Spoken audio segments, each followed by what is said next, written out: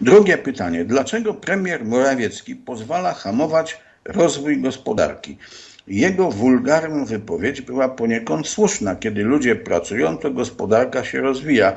Czyli o gospodarce, coś o gospodarce musi wiedzieć.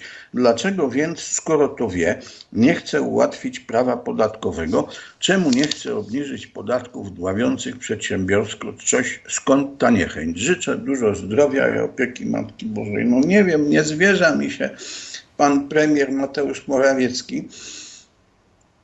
Także nie wiem, trzeba by jego o to zapytać, dlaczego on takie rzeczy robi. Myślę, że dlatego, iż on jako mianowany przez naczelnika państwa po prostu realizuje jego projekt taki ideologiczno-polityczny.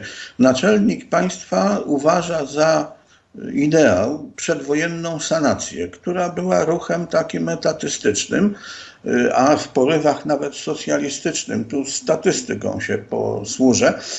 O ile w 1928 roku, a więc kiedy sanacja już okrzepła i zaczęła tam realizować swoje pomysły, nie było y, w Polsce ani jednej spółki prawa handlowego, w której skarb państwa miałby udział dominujący. 10 lat później, w 1938 roku, nie było ani jednej spółki prawa handlowego w Polsce, w której udział Skarbu Państwa nie byłby dominujący. Następowała taka pełzająca nacjonalizacja gospodarki.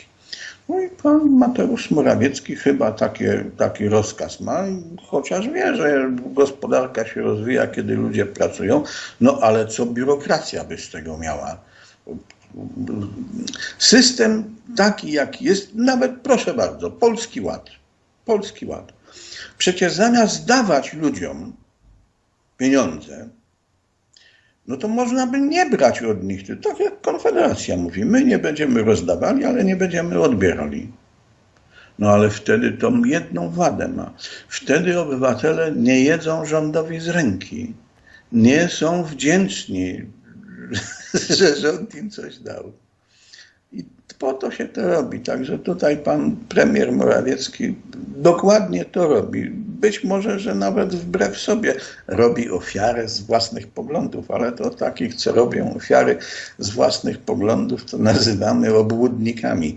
I tym spostrzeżeniem kończę ten cykiel pytań i odpowiedzi. Żegnam się z państwem.